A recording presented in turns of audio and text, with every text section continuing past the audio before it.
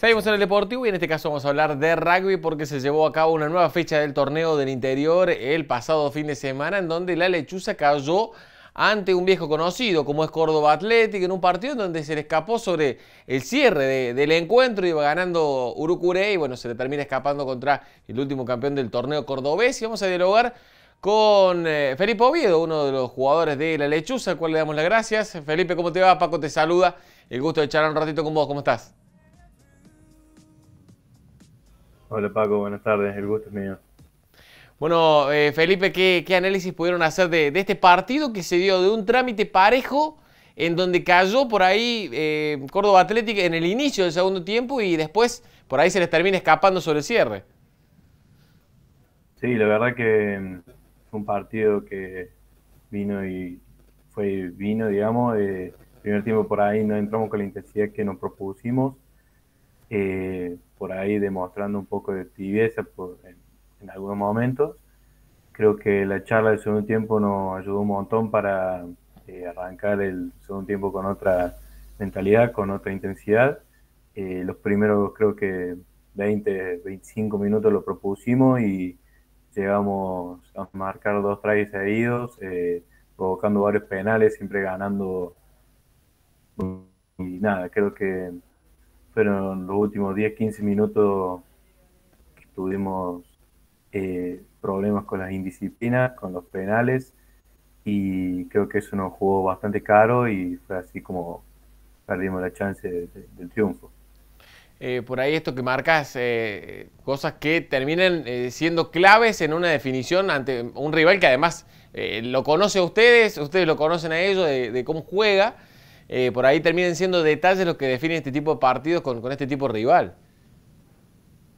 Sí, sí, totalmente. Eh, creo que lo mismo, bueno, es, un equipo de categoría, es el último campeón de Córdoba, nos tocó enfrentarnos con ellos en, la final y, sabíamos la categoría que maneja este equipo, un equipo eh, con muchos jugadores de gran calidad y, y al estar en ese torneo me parece ya también eh, junto a otros equipos de otros países eh, el margen de error es mínimo y creo que ahí es donde eh, se lleva el partido el que gana, ¿no? El que comete menos errores y el otro que aprovecha los mismos.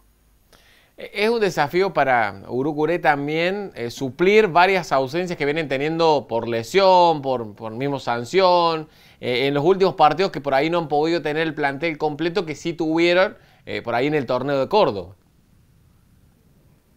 Sí, sí, totalmente. Creo que eh, el partido anterior no se notó muchísimo las bajas por ahí de, una tercera línea titular que venimos teniendo, eh, salvo uno o dos, y por ahí también el apoyo de, jugadores con gran jerarquía que han tenido también muchos años en primera y, creo que en estos partidos que son chivos, por así decirlo, eh, se nota la experiencia, ¿no? la, confianza que te brindan. Eh, si bien cabe que los chicos que le tocó entrar y, desempeñarse en los puestos que le tocó, lo hicieron de gran manera, me parece. Pero bueno, nos faltó ese plus al último de, de la experiencia para poder cerrarlo y habernos llevado el triunfo. Eh, se viene ahora los Tarcos de, Tucumán, eh, un, lindo partido y además por ahí una semana más para prepararlo y sobre todo seguir haciendo esto que, vienen haciendo durante todo este 2023, mantener la localía. Sí, sí, totalmente. Eh, creo que nos queda Tarcos, tenemos una semana libre que vamos a aprovechar para recuperar a los que estén lesionados, que vuelvan a entrenar con el equipo, los que están suspendidos también y empezar a preparar el último partido que creo que va a ser como una final más. Eh, o no, dependiendo del resultado, o nos pone en semifinales o, nos deja fuera del torneo. Y me parece que va a ser una, una muestra de carácter y más, eh, como decís vos, defender la localidad del, de todo el año que tuvimos, de, el coraje por ahí que, que, nos da jugar acá en Urucuré y, y esperar llevarnos un triunfo. Felipe, eh, te agradezco un montón estos minutos con nosotros. Desde ya todos los éxitos para, para lo que viene y seguramente estaremos en contacto. Te mando un abrazo muy grande. No, gracias a usted, te mando un abrazo muy grande.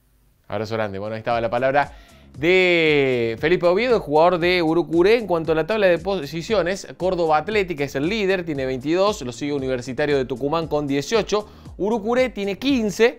Eh, el mismo puntaje que tiene Estudiantes Paraná, que está cuarto, eh, mientras que San Martín de Villa María tiene 13, Santa Fe Rugby tiene 10, los Tarcos de Tucumán también tienen 10 y Curne de Chaco tiene 6 puntos.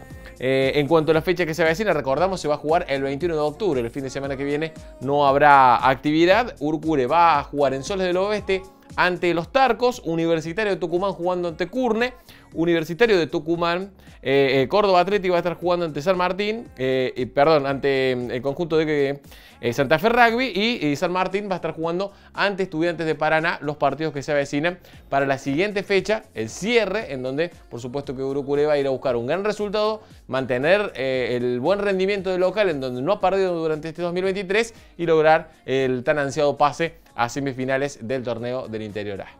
Marcamos una nueva pausa en el Deportivo y ya venimos con más.